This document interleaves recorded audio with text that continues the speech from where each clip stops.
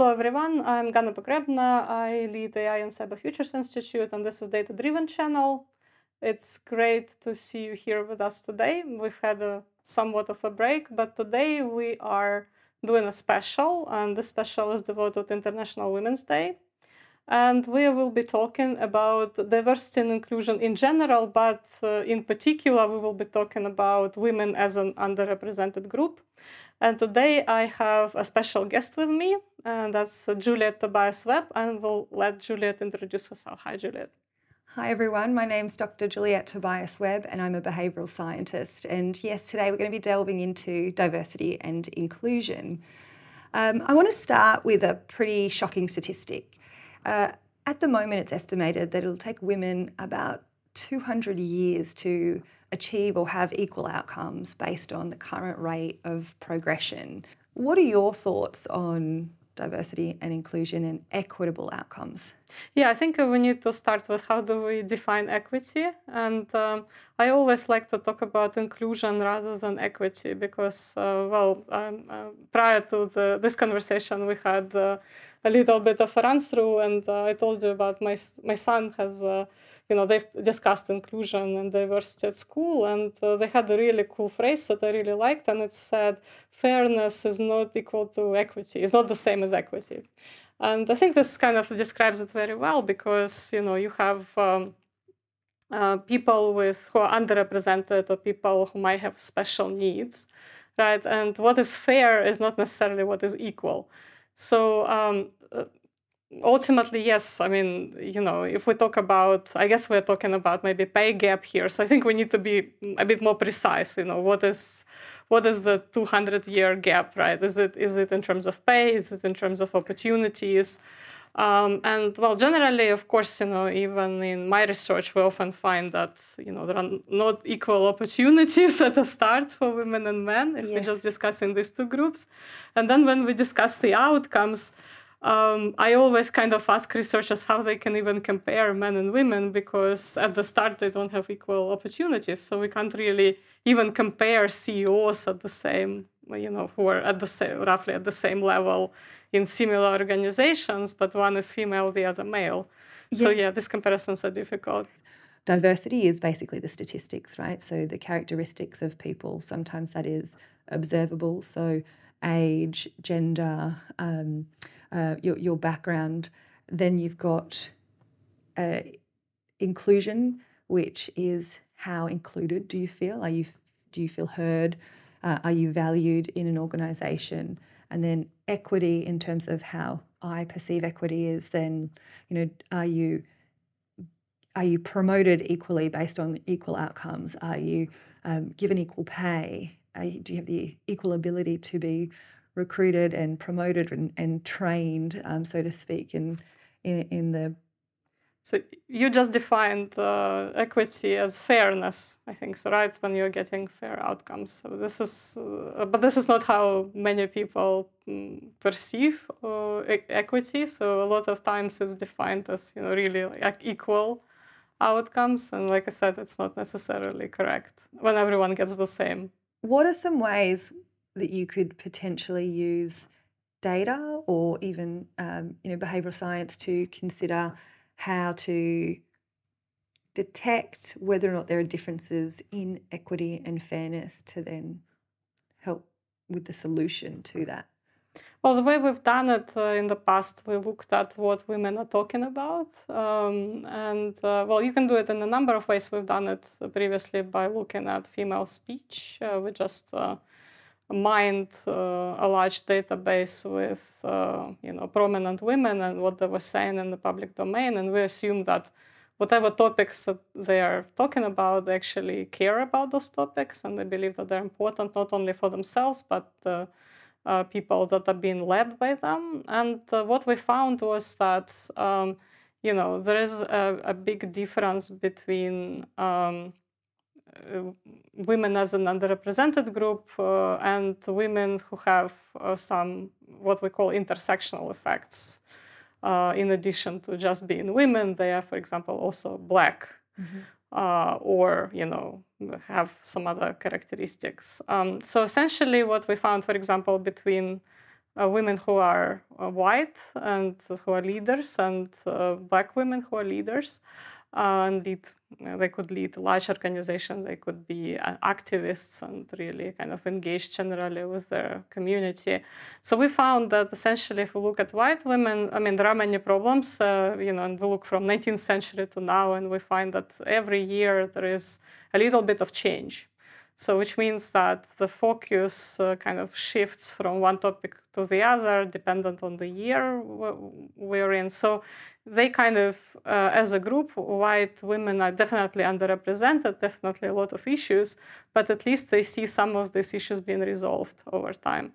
Whereas when we look at women with these intersectional effects, so who are, for example, like I said, um, uh, uh, women and black category. So they kind of have very persistent problems throughout um, mm-hmm. many, many years. So if we look from 19th century to now, women's rights are not so much of a problem for white women anymore. So they've moved on to some other topics. Um, but if we look at uh, black females, black female leaders, we see that it's very, very prominent uh, topic still for them. Yeah, so we can use the data that's existing in some ways, right, to find these inequities and see the patterns from history as well as the current patterns and yeah you need to you also um, can just look at i mean if we are talking about a small scale so if you are in a small organization it's just the rhetoric that different women are using. Well i know that i work for you know i work for a very diverse organization at the moment and i can tell you know the difference in rhetoric between different underrepresented groups, not just women, but generally we have quite a few in our organization. And um, you know, you could analyze uh, this rhetoric if you have a way of capturing it. I know that many people use. Uh, uh, various products, like for example, Microsoft products, they give you some analytics, and normally it's not really doing the right thing. It could be just, for example, um, capturing the difference in topics that people discuss rather than just telling you how many how many hours they spent using email or something like this. That would be a lot more valuable information for i think a ceo that's kind of capturing people's behavior though after the fact. And the only one of the problems i see with that is that people may then get defensive. So it is their own behavior. They now see it and they don't have a, a chance to kind of capture it in the moment or change in the moment. So it's definitely very useful insight. Uh, what I think, what I was thinking about though, is what are some of those ways you could use technology, data to be able to also help people in the moment. So, um, if I think about this, the other day I was on a Zoom, a, a, a platform like Zoom called Vowel, and and you could see the difference in percentage of people who were speaking and who weren't. So, you know, it was saying, Juliette, you are at 30%, and Matt, you were at 70, and then it was saying, okay, now mm. Matt's spoken for a while, and here's... So someone was dominating was, the conversation. No, but then it was, but it would equal out over time, which was really interesting. So it would go up and down because we would take these different, uh, you know, time to explain different things, but it also made you much more conscious of the time that you were speaking, which I thought was great because it captures you in the moment, captures your not necessarily bias, but your tendencies maybe, um, and it makes you a bit more aware of of the other person. So I just thought it was like a great mm. way of of helping people be more conscious of their behavior. Mm, how did you moment. find this experience? Is it distracting? I mean, I've, I've never used WOW, so um, don't really know. Uh, it was like it was a little bit distracting, but it was also really interesting and kind of. I, I think I left feeling more empowered that it was quite equal at the end. I don't know though if people would use the technology and then over time the differences would then just become you know culture just what we do around here is that obviously the leader speaks longer or you know whether or not how long that would create sustainable change or mm. again if it would then become a tagline sometimes like quotas where it's oh well this person was just given more time because of so it'd be interesting to know the flow on effect of of of that another thing that we've done previously was we analyzed um, um, speech of mm-hmm. CEOs and um, there is um, there are actually now databases where you know there is uh, kind of a long uh, longish uh, CEO speech and sometimes you have also chief of the board of the directors. You know, uh, so like there's there's quite a lot of um, kind of top management talk being recorded, uh, especially when it's kind of financial reporting happening, something like something that is in the public domain that the, that the company normally goes out and talks to um, people about. But um, what we've done, we just looked at uh, annual reports and we looked at what CEOs were saying and we kind of were trying to look for words diversity inclusion in there and or related topics. And then we also looked at mission statements of the companies. So and what we found through this research was that um, so so essentially what we've done so we kind of looked at these talks and then we were trying to predict uh, how likely this company to put kind of diversity and inclusion on top of their agenda and uh, the way we measured the outcome was there is a uh, like a ranking of companies that are most inclusive and diverse. Um, and uh, we looked whether the company was in the ranking in the next year if they talked about diversity and inclusion. And what we actually found was that um, mentioning diversity and inclusion did not make much difference. And in fact, it probably made things worse. Um, but what mattered was the general kind of pro-social, pro-public good orientation of the company. So if the company was um, kind of um, uh, creating a culture of uh, you know um, delivering the public good, improving outcomes for all people, not just the customers, not just the employees, but everybody around them, they somehow scored better in this ranking. Uh, so essentially, what it tells you is that you know kind of stop you know this cheap talk about uh, you know talking about diversity and inclusion doing like kind of random events about it but to try to start with values and really change the, the you know the values of your company uh, kind of tell everybody that well you know our main goal is actually improving outcomes for everybody. And if if all employees think that way they you know they improve the culture for underrepresented groups I know you worked a lot on education. So do you think there is too much emphasis on education, or do you feel that we it's not enough education that we do in, in diversity and inclusion? Yeah, definitely. I'm I'm going to come back to that for, mm-hmm. in one moment, but I think that's so interesting around the actions speak louder than words almost because if that I haven't sort of heard much about this study before and I haven't heard conversations around something like how the importance of values can really shift the dial in terms of diversity and inclusion. So um, I think that's really interesting that as a leader, we, we often hear about leadership shadows. So what you say and um, what you do is very important. And what you say is in some ways in, important, but if your actions aren't following through, then there's a gap there, which sounds really obvious, but actually, um, I guess now the evidence is is there, and many leaders often don't devote the time to diversity inclusion. So, you know, they may say that they are, but actually turning up to the meetings or giving people equal time or as you said re- really reshaping the values. I think that's actually incredible. Yeah i think this whole uh, value structure also helps the, the first problem that we've identified where intergenerationally we don't see you know improvement in some groups. Because well uh, to me what I, I normally advise managers is that well you kind of know your diversity scope in your uh, in your particular unit. It could be a really small unit, but um, try to help one person, and then you know if all managers do that, eventually, like intergenerationally, when we look at it, we will see an improvement because you're kind of you need to break you know century long stereotypes there yes. or more than century long stereotypes and to do that i mean it's not enough to just you know put everyone for an hour in in, in my opinion in a, in a workshop and say inclusion is good and uh, not having inclusion is bad but i don't know i mean maybe again maybe there is some behavioral like new behavioral design things that you guys do in behavioral science that, that are more so i think there's something interesting there around we want to shift the dial in terms of changing our stereotypes but i think as humans we often will always bring bias to the workplace. Maybe that's an overassumption but at, at this stage we're all biased in our own on our own ways. And so um, what you generally see is in terms of training is training often does not work to shift the dial. It increases awareness. It can change people's perceptions or attitudes around diversity and inclusion and people of different um, a, a range of different backgrounds. But what it doesn't necessarily do is translate into behavior.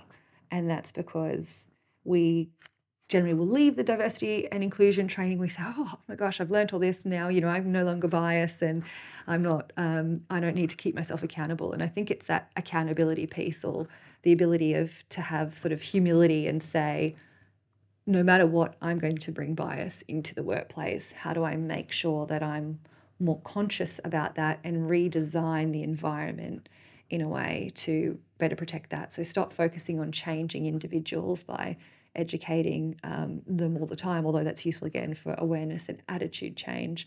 But how do I start to rethink the environment? And I think you can do that at an individual level. So if you're an individual, it can be thinking about reshaping the the you know, portraits on the wall or looking at you know um, thinking about how much attention that you're giving to different individuals in the workplace can be at a kind of team level as well. So thinking about uh, equal turn taking. So i think that's where that uh, Vowel so the zoom type uh, feature that i was speaking about before came into play because there's a lot around some of the best performing teams are those who have psychological safety which is basically inclusion and that sort of equal turn taking and the ability to feel valued and speak up. But then the leadership level as well of how do you influence values? How do you um, actually restructure the recruitment, retention, you know, mm. and promotion pathways? Yeah, it's a good point. I mean, uh, when you were talking about that, I just remembered something that might work. Uh, so maybe we need to not so much uh, say that you know education is kind of you know not not helping or only helping you know awareness, like you said, but we maybe we just need to rethink how we do that education because um, one project that we've done last year was on refugees um, and we kind of the, the point was really to so we were not specifically interested in um, in sort of understanding to what extent they're included. We kind of just wanted to uh, since we had a, a, big problem with uh, you know um, a lot of refugees originated from Ukraine, so we kind of just wanted to look at inequalities between different groups of refugees. And what we found in parallel was that um, um, so we essentially just were asking how well you know they they're adapting, they're including including into society, dependent on different um, origin of these refugees. And what we found was that there was one activity that companies did well that actually helped the refugees to sort of quickly get to know everyone and really become a part of organization.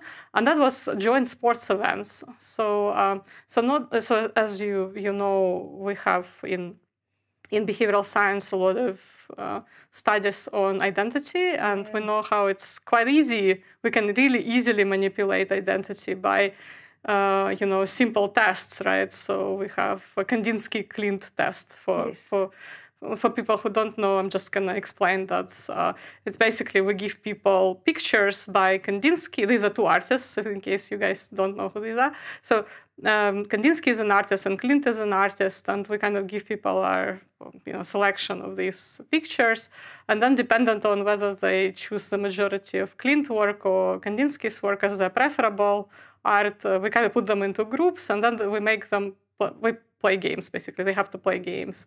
And we see immediately that people kind of in one group and the other group start kind of being antagonistic and, and all that.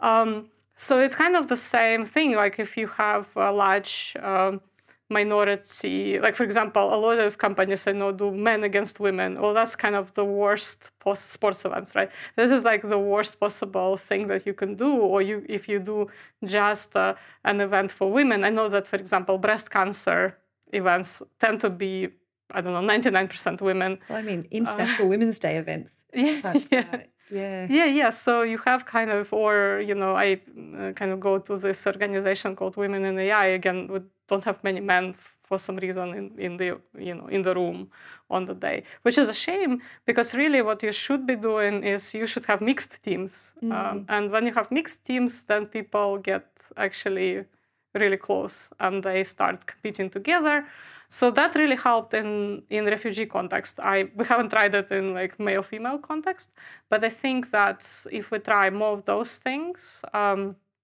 it uh, really would would change. Yeah, would would. I mean, just uh, kind of speculating. uh, we can make an extrapolation from you know the identity experiments, and we know that that works.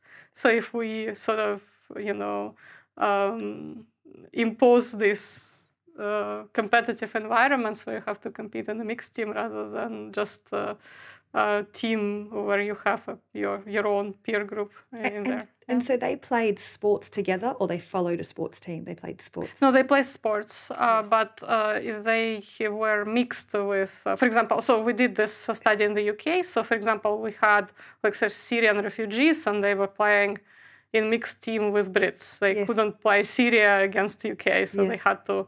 And uh, so when you compare um, a situation when it was Syria against UK, uh, like no, no, nothing happened, no kind of cultural exchange happened. But when we had mixed teams, obviously they were very, um, you know, Yeah, well, that's, Yeah. that's the i guess that's the, integrated.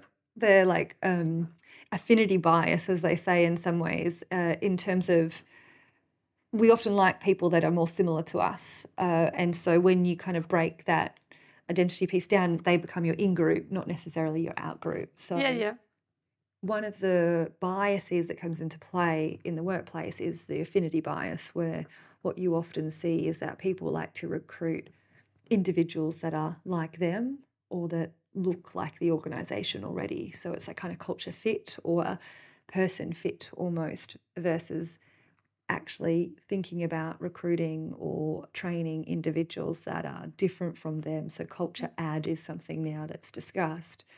So maybe it's a kind of solution of how do we break it down so that people start to see themselves as more similar along some Yeah. dimensions. But I have to tell you, I mean, I know that uh, some em- employers will hate me for this, but I I'm not a proponent of having AI interview people because Yes. that happens a lot.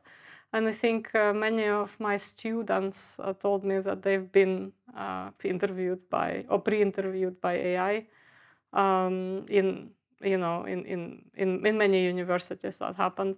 Um, and uh, uh, one of the main problems with uh, AI pre-interviewing people is, you know, we have quite a long history of very biased algorithms. And um, from kind of own tests that we've done with my team, uh, we know that you can really improve your improve improve your uh, performance with really simple things like, for example, the background, right? So, um, so for example, people with one of the algorithms that was tested, it was found that um, if you put uh, books on the background, um, you do better than if you don't, um, right? So, and um, so, so I'm very cautious about this. So we had a, a really uh, horrific uh, case in Amazon. You know, Amazon had an algorithm that was pre-selecting CVs Yes. uh, for the interview. And Yes. this is a big problem because I understand why companies want to do that because you've got, you know, th- thousands of applications, right? Uh, probably daily uh, you receive, and, and then you have to somehow filter them. Um, and this is a big problem if you have any type of unstandard CV, right? For example, if you were an academic and you decided to transfer into industry, or the other way around, or say if you've done a PhD and you decided to go instead of going to academia, you decided to go into private sector, you will have a huge problem with algorithmic uh, selection of your CV. And uh, this is simply because normally people who work in this organization don't do a PhD. I mean, they first do, uh, you know, maybe bachelor's or master's or like, you know, some some sort of a uh, like lower degree than the than the PhD, and then you kind of you don't have a training set with these people in, and therefore some very good candidates might not be given a chance of an interview. But in Amazon, the problem was specifically what we're talking about with regard to women. Um, so they had a, I believe it was software engineering department, but anyway, the department where the majority of employees were male. So you would have CVs that are very, very highly male skewed experiences. And uh, when you uh, train an algorithm based on this, uh, obviously, if you feed a female CV, so anything that has female college in it, anything that has uh, female type of uh, awards, which some women have, and many women in STEM would have something, you know, in uh, some, some sort of recognition um, like that. So essentially, what happens is you basically get not selected, even though you're a very good candidate. And I believe that they kind of kept this algorithm for quite a long time uh, uh, until there was a an outroar in the press, and so they had to take it down. But um, the reality is many companies use algorithmic decision making when they look at CVs simply because of the volume. Yes. It's very difficult for humans to do that. And um, you know, when we then, for example, read papers about, you know, we've sent a bunch of CVs and people were not selected, I'm not sure how much human decision making went into that, and I'm not sure how much, you know, um, steering uh, the algorithm had from uh, someone who understands how the you know how it's trained and, and all that. So you need to be very careful and if you want to use AI. That's really interesting because I always assumed that AI wouldn't pick up on the contextual information, which mm-hmm. so in terms of a CV, you know, your CV may look different based on on your experiences and you can't explain that in a CV. So the contextual piece. But what you're also saying is it also misses parts that are in your CV but it just hasn't been trained to recognize. It's funny you say that uh, because I presented uh, um, uh, this uh, some of these results to e- economics uh, audience, and some economists told me, of course, uh, the algorithm should select a person with books on the background. This person took time to put the books, and you know, so it's like, so I, I think it's um, well. The, the, point is that yeah, I mean, it kind of uh, tells you that maybe people who are trained in more rational uh, decision making and do not kind of assume that oh, it should ma- shouldn't matter. Of course, what you're saying is correct. It shouldn't matter, but. Um, yeah, it's kind of funny how different uh, you know occupations would would perceive that. Yeah. And can I just so yeah, this is really interesting. So so you might sit down and have a video interview, and it's AI at yeah. yours. It's questions. So so they're asking you questions and you're repeating it. Yeah. So you have to. So the way it works is you. Um, you have an algorithm that asks you questions, tells you, well, tell me about your previous leadership experience. Let's just say you're uh, applying for a leadership role, and you have to, uh, for five minutes, record yourself. Uh, some of these algorithms allow you several runs, uh, but don't uh, don't think that not all runs have been analyzed. I'm sure that they yeah. analyze all runs, but you're told that only the last uh, run is analyzed. I, I, well, I think some of the organizations are honest and really would just analyze the last run. But I mean, the, so you have like basically, I think the problem is that well, now we're having live conversation, and you know, like you are reacting to what I'm saying, I'm reacting to what you're saying, so we have a little bit of like an exchange um, when you're talking to a machine, you don't have that. It's yeah. kind of always the same. I mean, on the one hand, it's. I mean, I understand the uh, the sort of the thinking behind it that everyone, like you said, should get equal equal chance. Uh, but some people are not good uh, in well first of all some people are not good in interviews that's one thing but it's one thing to have to sit in front of a human being when you can react to i don't know facial expressions and you kind of are you have a feeling how well you've done. Yes. Um, and uh, it's a quite a different experience to talk to a machine. You have no idea what's going on, right? Yeah. And you are trying to do it the best you can, but um, ultimately you have zero feedback. And just I think psychologically for a candidate, it's very difficult. And that's quite interesting because yeah, in interviews you can generally see where you're answering it, answering it right or wrong when it's with another person, and not, or you can get contextual feel of yes. where they want it, where they want you to take it versus the opposite. So, and on the other end of the AI, are they then saying, um, you know, the in in the coding, and these are the type of answers we want, or how does that, how do they judge each?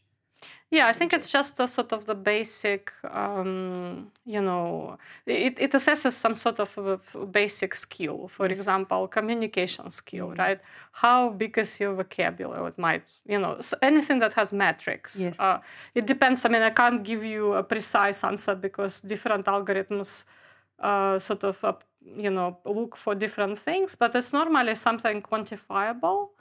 Like, for example, how uh, yeah, like how big your vocabulary is based on what you're. Are you using many different words? Are you essentially repeating the same phrases? Um, Yes. How do you um, appear? Well, some of them have this. Um, um, sentiment recognition, which I, like I said before, it's very problematic area. I mean, I myself have done a lot of work on emotions, and I, I think there's a lot to do. It's interesting from scientific point of view, but is it at a point where we can apply and say, you know, Juliet is smiling and it means that she's happy? Yes. No, we're not at that point. But, you know, a smile could mean 100,000 different things. And so we need to essentially be very um, careful when we're applying this technology. And it's just not it's not often considered because um, the people who are making decisions about recruitment they sort of think oh you know it's state of quote unquote state of the art algorithm and uh, you know it's good enough you know it, uh, Well, but but no one kind of goes into the detail of what it means Yeah. Well, it saves them time in, in, and money in some ways, but it seems like you can lose good talent.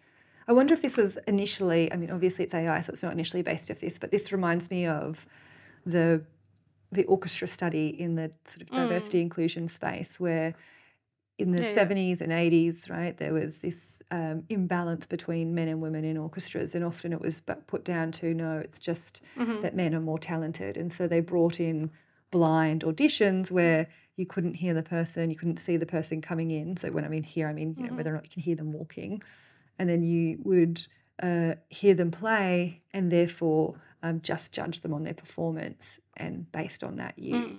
you yeah get more equal split. Well, see, I mean, that would be, again, that would be great if they could, for example, the committee would just listen to the recordings of people. Might, Yes. might, might have been good. But it's not about that. I think it's just about reducing the human component in the selection very often. So it's normally not about, not so much about equity. I mean, an equity argument is often made Yes. that, uh, like you said, I mean, we kind of hire often the people that we um, are similar to us. No, not in my my case. Like, I just I'm just thinking I hired completely different people at the moment. But anyway, um, so very often people hire someone like themselves, and yeah, I mean the argument that um, companies that produce these algorithms they make that argument that you would select someone out of the box, like you know that someone you would not normally select, or at least give them an equal chance. But um, in my experience with executives, I don't know, maybe you have a different experience. Uh, it's usually about just capacity. They say, you know, my HR department cannot possibly look at, you know, 1 million applications a year.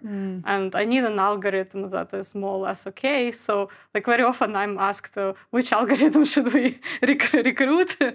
because, uh, you know, we have this problem. So I think it's more of a, like economic uh, reasoning why these algorithms exist uh, in companies. But um, you know, the inclusion component, I don't think you can make a um, an, a, a- really strong argument that you know it, it improves situation. I think it kind of creates bias in another direction. So would it be useful then to have like a vetting team as well? So like a team that goes through a certain amount of chooses a certain amount of CVs at random as well, or something like that, just to test the effectiveness of the algorithm. Yeah, I mean that would be one one idea, you know, to actually have uh, um, maybe a kind of you take a random selection and you actually look at it. But um, uh, the problem again is what information you're looking at. If you're looking at the output, well, right now again we are talking, right? But we have cameras around us, and you probably behave differently um, compared to a situation when cameras were not here.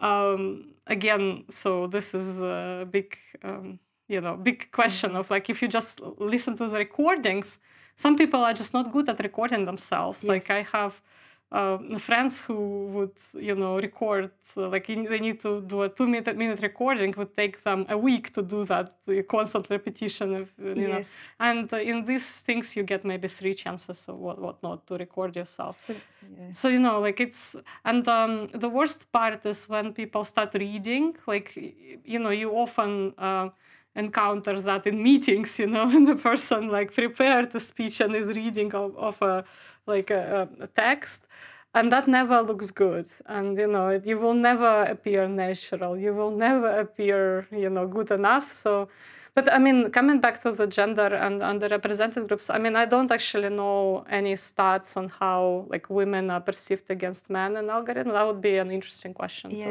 ask. And whether or not it's like performance. So, so I think what you were getting to as well is difference between so when you've got general questions and then performance-based questions as well, or performance-based tasks. Sorry. So, if you were thinking, if we were thinking about the example of filming, and sometimes you're really good at filming, and other times you're you're uh, someone might not be. Sometimes, if your job has to be around being on camera, then that's a performance-based metric that is useful. But if you're asked about what are your leadership qualities, then sometimes judging the difference between those is kind of it's not relevant anyway, or it it is in some ways, but you're probably better off to get Yeah, but normally you have the same, right? It's like an HR policy. Everyone has to go through the same, like you said, uh, Yeah. equal. Equal. That's what, what I'm talking about. What, what is equity? So, for example, you can have, um, uh, you know, you can have people in organization who not necessarily will talk to anyone. Like, you know, in research, we often have people. Like I know brilliant researchers who. Um, have done some really groundbreaking stuff and they don't need to talk to people much Yeah. you know they have normally someone it's like in the in in the uk we had this uh, film it crowd you know there's a there's it guys who get very good at it and then they get a manager who's talking to the outside world but what often happens is that everyone gets kind of the same assessment initially and then you know you are not um, actually promoting diversity you're looking for equal metrics in Mm. at least one skill or whatever that skill is that is measured by the the ai and uh, yeah you never know whether you ultimately have recruited the best person right Mm. and you know so it's the point is i think that you achieve uh, good results like mm, like i said before when you mix people right? So when you have a person who is maybe not good communicator but is you know can can do other things and then you pair them with good communicators so then jointly they do really cool work. But you will never be able to achieve that if you hire based on Yeah. that, that type of th- that type of assessment in my opinion. I mean uh, I, I guess maybe some developers will, well i mean i'm uh, again i'm not against algorithms in principle. I just think that they're not at a stage where we could put them in front of people and uh, interview um, people. But i mean again sort of uh, so we kind of talk about uh, jobs and you know and, and work um, um, but you know all these kind of pers- different perceptions towards men and women they have uh, evolutionary roots so we for example did um, a few years back with andrew oswald and david haig uh, we did this um, big study with pregnant women and partners and we found that uh, parents start discriminating between boys and girls uh, at a stage when they find out the gender of the child. So Yes. about from 20th weeks, week of pregnancy, they start treating uh, these children differently even before they are born. So normally, uh, parents of uh, um, of girls so they basically are more risk averse than you know parents of boys. And it doesn't have to do with hormonal changes obviously. There are hormonal influences so if you have more testosterone in your blood you would have more risk exhibit more risk taking behavior but um, you know we observe this not only in uh, in a woman but we also observe the same effects in a partner. Yes. and um, so it's um, you know this is a big evolutionary pro- problem. So somehow parents tend to be overprotective over girls compared to boys. And then they grow up in different uh, different ways and we know studies when they try to kind of change and you know make it uh, kind of uh, create mixed gender environments or change uh, you know uh, fairy tale characters uh, genders and all that kind of stuff Yeah. so it's all very interesting but i mean we need to definitely pay attention to And it's interesting what, what's going on with that through uh, doing the Superstars of STEM program, there was a lot of research as well around girls and boys in school. And basically, what they saw too was that their stereotypes, um, they start stereotyping by five onwards. But also, what you see is that even in teachers, you will see that boys will generally get more time to answer math questions and science based questions, and girls get more time in home economics and, and, and whatnot. So, actually, you already see the difference in treatment as well at school, which is interesting in terms of how do you then shift the dial really early on. I think what uh, education could be, right, the future education uh, could be, is trying to explain to people what their bias might be or Mm, is. Um, and then you are uh, at least aware that you have it. So mm. when you're making a decision, you can say, oh, yeah, but I tend to kind of, you know, maybe value men uh, higher than women, or some people have the reverse. I, for example, at one point had a um, had a boss who only recruited women. He Yes. didn't had didn't have a single uh, man in his team. Uh, just had uh, he had the other, you know, the other bias. Um, so and, and then yeah, kind of all um, brings us to the question, I guess, what what is the evolution, right? Considering that uh, the technology is currently replacing some of the professions, are we going to see women you know, getting better outcomes uh, with Yeah. technological advances. So I might, I'll just add quickly. So you've just reminded me of an example too, where I remember when I was sitting in a press conference and someone put up their hand and said, "Look, how do I make sure I'm equally covering men and women and you know people of diverse backgrounds?" And the the the response was quite general. It, you know, be more conscious, but actually, one of the responses I thought that could be really useful is even tracking it, like using metrics to think about at some stage how many, like putting stats to it to make yourself a little bit more aware. Not always easy and simple Mm. for for people, right? But sometimes useful in terms of capturing that bias and and becoming more aware of it or looking at the amount of time you might spend in different meetings or speaking to different individuals, like looking at your social circle, if it's all uh, all uh, people that think the same or look the same or are of the same gender, then how do you start to to shift the dial in in some ways? But I think then moving on to the the next phase is something that I find really fascinating and an interesting kind of place to explore is what will the future look like for men and women and the Yeah. in the diversity and inclusion space. Yeah, I mean, we kind of can uh, backtrack a little bit to COVID because, uh, you know, during the COVID, we, well, you know, uh, generally, I mean, I think there is, uh, we still don't know how to deal with career career breaks really well. I mean, I, I, I saw that in kind of in Australian context, especially, I see more and more that there is it's okay if you had a career break. You can still apply for this opportunity if you had a career break. But um, we also had uh, you know uh, situations during COVID where people did not have a career break, but they were the main carer, and the majority of main carers were women. Uh, so if you know if you have small kids and, and all that, so um, um, I mean, what I hope to see is that these new technologies that we have uh, will actually allow women to quicker catch up with, you know, especially in STEM. If you missed one month, it's a big Yeah. gap. So, um, so I'm hoping that the new technology will actually help them to uh, to kind of catch up really well, or like on the very quickly on the trends uh, of what was what they missed. So that would be really, I think, an, an important important thing. Um, and also, I think uh, you know when we talk about the skills for the future, we always talk about the transferable skills. So we know that machines can do creative stuff. You know, so first we thought, oh, creativity will be the next thing, but actually, no, it's it's transferable skills. It's when you can kind of switch from one task to the next, uh, when you can uh, be the person who gives uh, instructions. So I just learned from my husband that there is this um, new um, new specialization called prompt engineering. Is when uh, you actually direct AI. So you you structure um, requests for AI generated agents in a way that it gives you the best output that you want. And I mean, in all these tasks, uh, psychologically, women actually are better than men because women, are, we know psychologically, women are better multitaskers. We know that women are better at, uh, you know, um, formulating uh, kind of plans, right, and all that. So uh, uh, always planning things like this.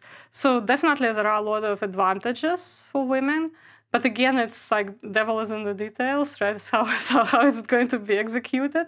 So we might kind of come coming back to the start of this conversation. So we might actually catch up on this 200 year year gap, but we also might ex- extend, extend it, it uh, if we are not lucky, because uh, it just depends on um, kind of the maturity of organizations who will be implementing these um, uh, these new technologies. And it's interesting. So I want to come back to first of all career career gaps mm-hmm. because I always think about what you learn in your career gap like right so t- tell me that the negotiation skills or the functioning on sleep deprivation and the learning on the job of when you've had a child doesn't contribute to new flexible thinking that is different, right, from then staying within the job. How do we nudge men who are leaders or in organizations to take their break as well? So then there's equal outcomes or shift the social norms. So it's not no longer onus on one, but actually two people by default they don't always want as equal involvement. Yeah, I mean, policy wise, that's definitely true in many countries that men don't get the same. I mean, I just know from my own child that um, it didn't happen in Australia, but you know, yeah, for example, my husband couldn't take leave like subsequently to me, yeah. like he had to take it just when the child is born, which is uh, it's just crazy like you would want to kind of swap or you know like you could you, you could do kind of longer ultimately you could care for the child longer at home rather than kind of put them into like daycare or somewhere else. But um yeah i mean this is a big um you know like, like i said it could be a big opportunity but it could be a, a big cost if we you know if we consider how it will change. Yes. Um, um i'm not sure we we'll see the cultural change would be great. I'm not sure how to do that with technology, but um, maybe if uh, you know men had more opportunities to work from home and you know do some like more flexible. Uh, uh, kind of be, mm, the employers were more flexible with this. Um, then perhaps it would happen over time. Uh, but I think we also need to think like if we have the kind of current status quo, like what can we do, right? If uh, um, I don't care if I don't know ChatGPT uh, lets women write reports quicker, or you know can help them in writing reports quicker. Then maybe it's a good thing. But if uh, ChatGPT makes up a lot of stuff that does not exist, you know, and carries a lot of errors and makes creates more work for women, then maybe it's not such a great technology to adopt in a workspace. So it's all, um, you know, it's it's all needs to be kind of carefully considered um, before we kind of go to this next step. I mean, I personally think that technology um, can do a lot of good, and uh, it could be used as a social lift and could be equalizing people. But at the same time, we saw in, on many occasions how that didn't happen. So we kind of I'm cautiously optimistic there, but I'm hoping that uh, going forward we'll be we'll be able to better evaluate technology on how it's approaching different underrepresented groups, men, women, um, uh, you know, men versus women, or you know other underrepresented groups versus uh, majority groups and i think um, yeah it all would depend on how well we select these technologies yeah. for the future so why i have like a healthy pessimism against te- um, against uh, education in some ways right versus restructuring mm-hmm. the environment you're saying have a healthy pessimism coming into the technology space so you you know yeah. might have the experimentation and but make sure that you're kind of even just having conversations with the people at the end yeah i think pipeline right? yeah so this is i think uh, you you you are exactly right there. So i always say that if you look at you know as a developer who like i develop stuff uh, that may or may not be used you know in their own way. So uh, so the best uh, thing to do is always to ask somebody who is not in your field. Yes. so normally i would go to a lawyer or an ethicist or qualitative person who does not know anything about numbers, but can see through the consequences of this technology being developed. And um, this usually helps. So again, we're coming back to the point of diversity. You know, you will need to have all these different uh, opinions in the organization. So I think it's uh, it's extremely important to have a second opinion on you know who who who potentially could be harmed by by technology and uh, um, yeah i think it's there's not enough thinking in that direction done by organizations. Although we do see po- po- positive shifts uh, you know towards that. Because you know even the most benign piece of technology could be used uh, to uh, create further inequalities. Um, and um, it's you know there is a it's a basically there is a very small difference yeah it's it's kind of very very small uh, tiny border between you know being good and being evil. And um, yeah you need to be just very careful. Don't entirely trust uh, the a piece of technology. Always need to have human checks and balances and making sure that it's all working yeah, which is hard because sometimes organizations move quite fast, right? So once, and they assume it's just it's working well or it works well enough. Yeah, I mean, not necessarily the, the, the right outcome.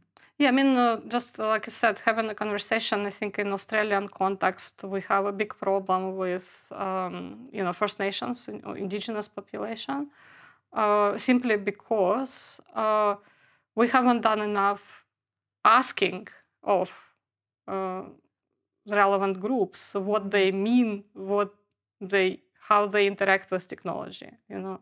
Because um, so we do have uh, there is a, a, paper that I know by Angie Abdilla who uh, with a group of uh, collaborators wrote that it's uh, you know indigenous view is not human centered technology but it's country centered technology right?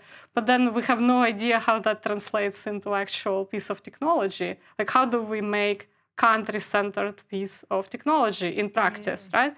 And I will not be able to make that piece of technology unless I directly talk to um, to indigenous people, to First Nations people, who will tell me, you know, this is how we see it, and then. Uh, within the indigenous community, there's a lot of diversity, right? Because we have 200, over 200 languages in Australia and all that. And everyone needs to be asked and we need to form a view first of what it is and how to best cater to to their needs mm. because there is technology that they engage with like for example we recently did a study in the banking context and we found out that uh, you know, uh, based on kind of the um, representative sample of Australian population, if we look at the products that uh, Indigenous people engage with, they tend to engage more with um, um, any o- offer that they are getting from you know from a, of, any offer yeah. And obviously not all these offers are beneficial to them right? We we are talking about chronic debt we're mm. talking about poverty lots of problems. And um, no one asked how to deliver information correctly to first nations groups so that they could make informed decisions about you know what is good for them like what products are good for them. Mm. And not to mention that all these products are developed based on uh, an average person in the city, living not in rural area, living in the city, thinking about city problems and it completely doesn't take into account the social aspect you know mm. it's not about the mob it's not about the community it's about individual it's a very colonial view mm. and what we need to do is we need to be asking them what what it means similarly with women like you said there's not enough conversation of what you know what would be the technology uh, most of as you know most of technology technological advancements are again made for very specific environments again and and there is no dif- you know diversification there in terms of okay we will uh, produce this thing for a female segment and this thing for male segment it's like um, what's this uh, dating app um, Tinder, right? We had Tinder, and there is one for women, which the name escapes Bumble. me. Yeah, that where women can make a choice. But you see, like this, he made a huge differentiation in the market because this is the thing that uh, appealed to women, right? And yes. it was uh, segmented to women. And we have very little done in that, you know, in with, with segmentation like that. So it's usually just one average person, whatever that is. Okay, so thinking about uh, something that you told me earlier today, and that's around how algorithms work with different populations. So uh, you were speaking about sort of, you know, you could train uh, an algorithm to make decisions based on a, a First Nations uh, population. You could train an algorithm to uh, make a, decisions around you know a, a women's population or men's population, but they don't necessarily speak to each other. So yes, yes. So I mean uh, that uh, the the best um, example is probably um, facial recognition algorithms. Yes where uh, we can make an algorithm that will. So currently the problem is that if we have if we have it, it recognizes white males very well, but if we take, for example, a, a black female, we will not be able to recognize correctly. Yeah. Can I just that mm-hmm. famous MIT example of the the um, African American lady who the the algorithm wouldn't detect her face, but if she put on a white mask, it would detect the white mask as a face. And then if you take off the white mask, actually it would then not detect her face again, which I find fascinating. Hmm. Well, I, I very often have this problem because I wear glasses and the cameras don't recognize my face because I wear glasses. So we have very often this uh, this issue when I'm being photographed that you know there's no the cameras. The, obviously, the AI behind the cameras the, the, is not trained. So the machine learning algorithm that is trained is not really recognizing well people with glasses because not many people in the public domain uh, take pictures in in yes. glasses. So it's not you know. So but but uh, coming coming back to this thing, so we can make a, um, an algorithm that will recognize uh, uh, you know African American just generally black females um, from whatever country uh, very well we can we can make that happen. What the, the challenge is to to make to create a universal algorithm that will very well uh, recognize um, white males, Asian people, black people, and so on. So like it's very very difficult to make a universal algorithm like that, yes. and that's the and that's the key. And this is why this technology is essentially dying. Like you know, there is uh, quite a few large companies pulled out of facial recognition. IBM, I know, doesn't do it, and some other companies said that they will not do facial recognition anymore because it's very difficult to make it, like I said, fair, equal, um, inclusive. Yes. Um, and yeah, the, this is. Um, um, this is kind of one side of the problem. Another side of the problem from the training sets that you mentioned is also the kind of the um, the fact that you know people with different platforms uh, they get different treatment, and as we know, there is a lot of a lot more information is gathered from just generally from uh, uh, people in the you know in in the global south who have tend to have Android phones. Yes. And not so much from people who have uh, iPhones. Yes. Uh, who tend to live in cities. So what's going on is we normally kind of have uh, data that we get from rural areas, uh, and we train it to create algorithms that we primarily use in. So, so when you yeah, sample, it's kind of like city areas, urban areas, yeah. Yeah. So, um, so I mean, my legal colleagues would call it exploitation.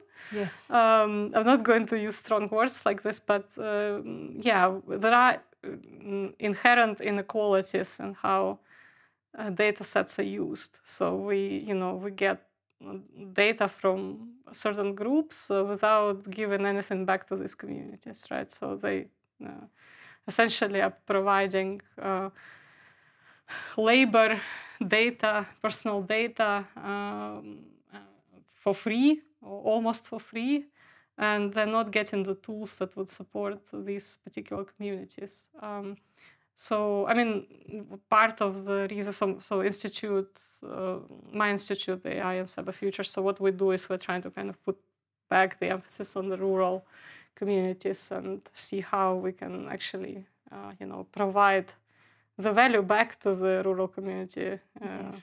And can you give me an example of one case, if you of of um, the algorithm that was um, kind of uh, designed on, say, a rural community used in a well in, in mobile so there is a lot of um, um, there, there is a lot of um, uh, alg- algorithm there are a lot of algorithms that were developed um, for mobile phones yes uh, basically Okay. again, you know, fingerprinting, uh, facial recognition, uh, some of the things that measure physical metrics. And what's a lot of them are, you what's know, the reasoning to test?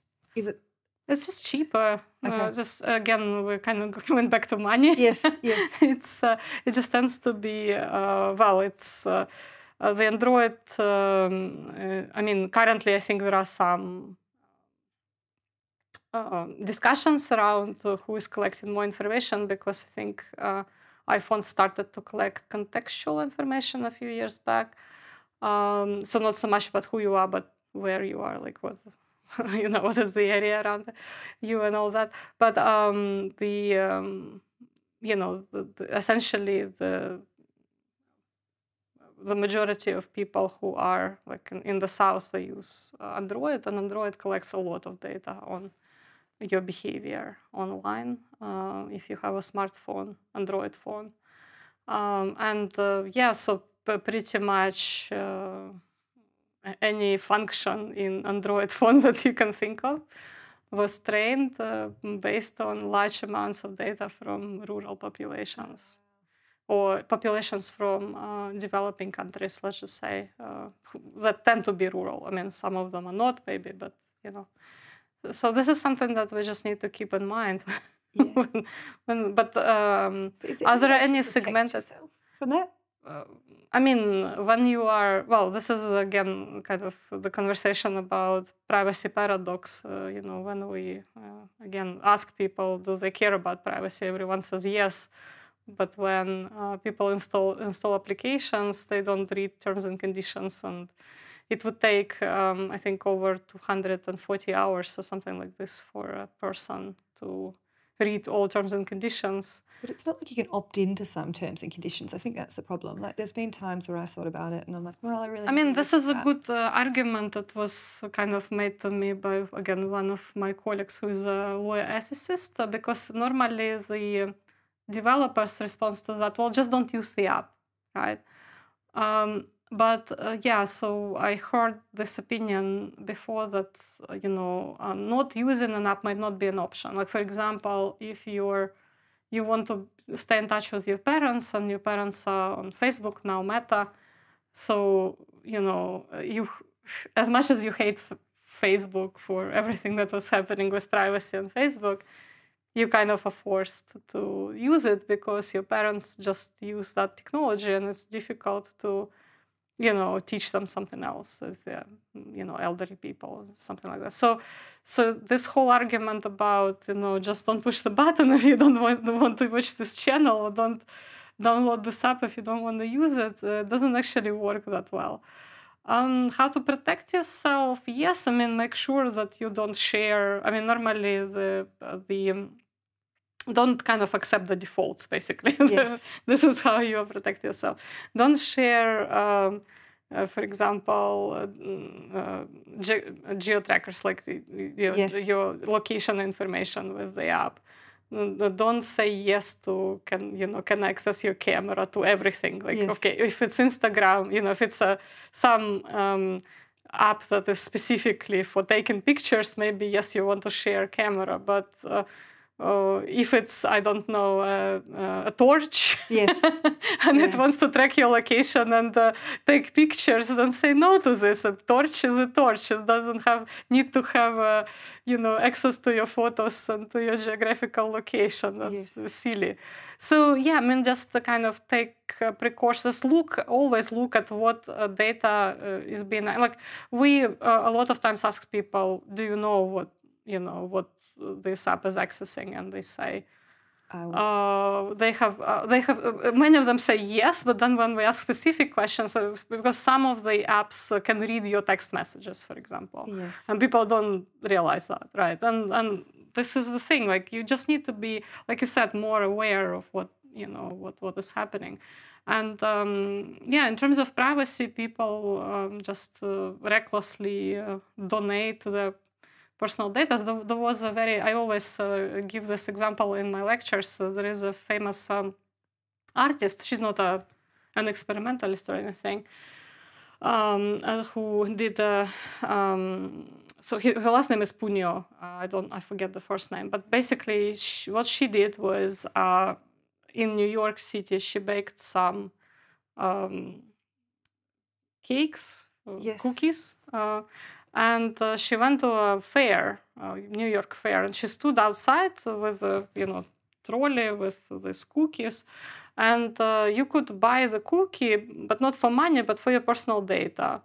And um, uh, 380 people, I might, you know, here or there, kind of plus minus one person, stopped. Out of them, half gave her four last digits of their social security number, and uh, one third of people gave her the fingerprint And was there a difference? for a cookie. Ah, that's and was there a difference in? I mean, I wonder if that's just everyone's got our information now. It's too hard to keep track of. Again, we didn't, we don't have control. Like you think that there are differences in gender, considering the diversity and inclusion and International Women's Day, in terms of how apps might access the data. So, so who says yes or no to the default? Um, right. So we don't. Yeah, we usually do not find gender differences. Sometimes we do find age differences. So it's more of uh, like elderly people might be more at risk. Yes.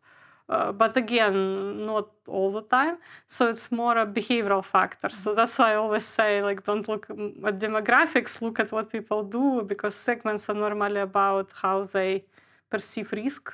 And Mm. again, we have measures for that. Um, but in terms of uh, how the data is harvested, I'm sure that it's harvested uh, in different ways from women and men. Like I think it probably would be, let's just say, if I um, if I wanted to find out a lot of uh, information about women, um, I probably would make questionnaires around weight Mm. or you know something like appearance. Um, uh, whereas uh, with men, you would have to do something something else. It will not be like you know, maybe it's fitness, but not so much weight. So right, so you could. Mm, it's a little bit like with the Facebook questionnaires that are not really there to find out how, you know, how how well you are partnering with someone, or you you know, is your husband good for you or not. Uh, so it's just there to to kind of get information about you. And the Yes. hooks normally for women, I would have thought would be different. And what about for intersectionality? In do you think the the research isn't there in terms of whether or not there are differences in the decision making aspect, but also in the harvesting? Um, so I think that there's definitely a lot of research in intersectional sort of how uh, you know people with intersectional characteristics um, approach different types of technology.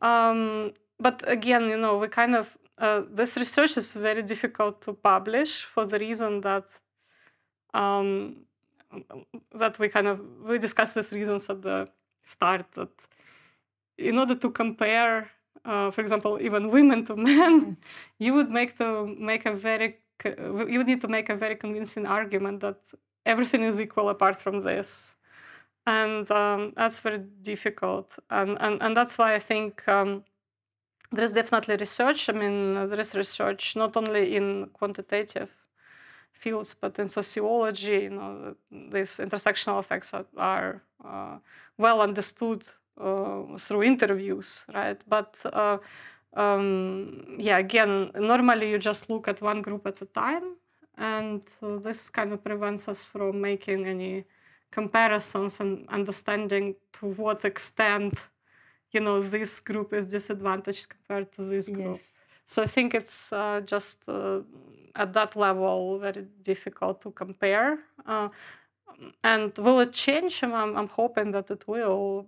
But you know, like we have now quite a lot of initiatives in science. and all that Nature has a special um, Yes. edition even on you know black uh, populations and generally on you know e- equality and, and all that so um so i think yeah there's definitely uh, steps towards making it better but is it improving uh, are we understanding better the gap so do we understand the problems yes do we understand the gap i'm not sure Kind of. So it doesn't have as rich of richness of data in. So when you're hiring people, are you asking or just? Uh, Oh, sorry. What I meant by that is in the in the app design. Ah, right? app so like you probably don't have as much granular, or when you're signing up to certain apps or products, as Well, much as you. Yeah, it's kind of like when we talk about personalization. So you can have um, basically a questionnaire when we, you directly ask, uh, and and there are some contexts where people gladly give their personal information, and that would it actually makes sense. For example, if I buy clothes, uh, I go to a shop and I need to buy online something, I would, you know, it's in my best interest to give them my size you know, and, and, and some other characteristics to make sure that whatever I buy fits, right?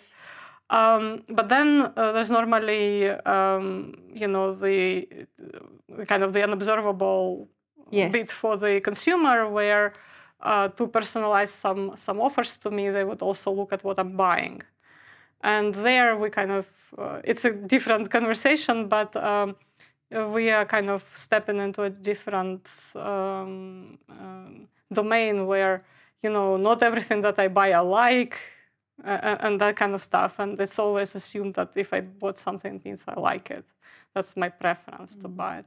So it's it it is um, generally very problematic, and you know. Um, coming back to the beginning of the conversation. So th- that's why this intersection well in my personal biased opinion uh, the intersection between behavioral science and data science is so valuable because it kind of gives you an understanding of how people behave and that you know what the data captures is not necessarily preferences you know and, and, and all that.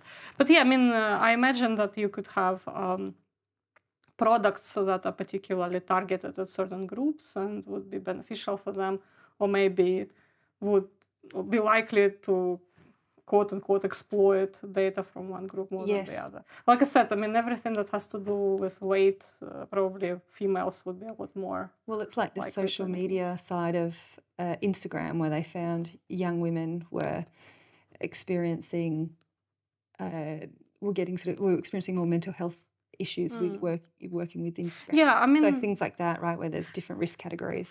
Yeah, I mean you're right. I mean we, I know I don't know whether I'm not on top of the most current statistics, but I know that just uh, very recently it used to be that, for example, Facebook was a primarily female uh, thing, but Twitter is primarily male. So like you know, it's short uh, kind of messages. uh, These are kind of more male. Uh, I don't know about LinkedIn, for example, what their demographic is.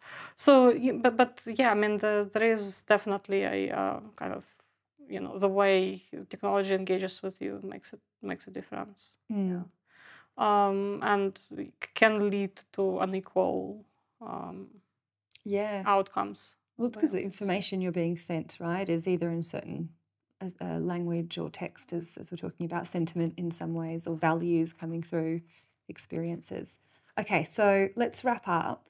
I want to ask you if you had uh, a magic wand, what are three things that you would either tell leaders about or change in organizations to help advance diversity and inclusion?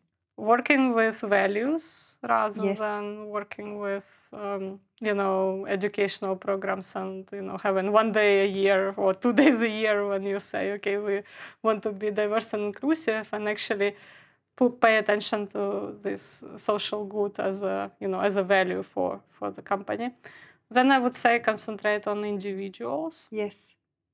And um, you know have conversations with people. This is the sort so ask people. Like, we uh, just to give you an example as you know cybersecurity is a very dry boring subject and everyone kind of considers it to be a dry and boring subject.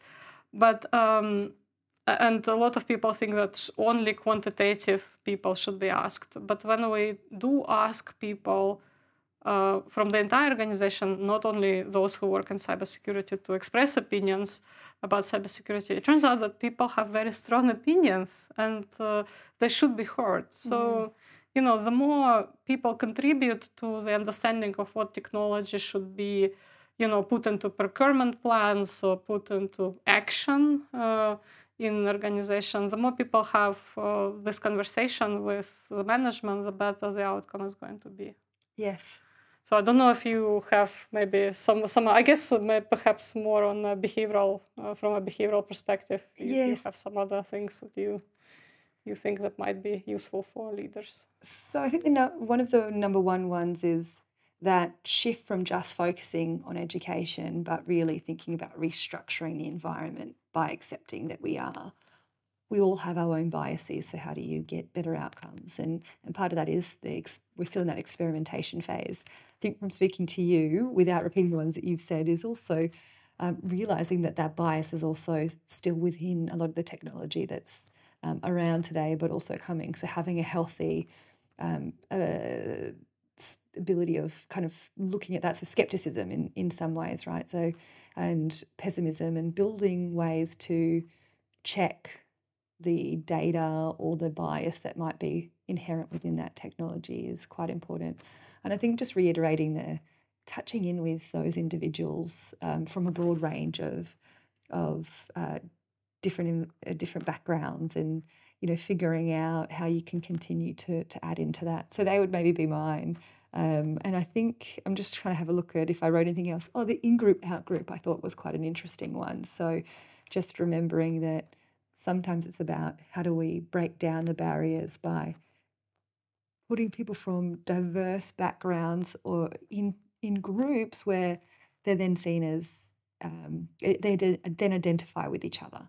Well, we have provided you, I guess, with some thoughts today, and I just want to thank Juliette. I think uh, the format was kind of, I feel, not exactly the interview, but a conversation, and. Um, uh, thank you all for joining us, and um, we'll see you next time. Um, thanks a lot for your attention. Yeah, I found that absolutely fascinating. So, thank you, everyone.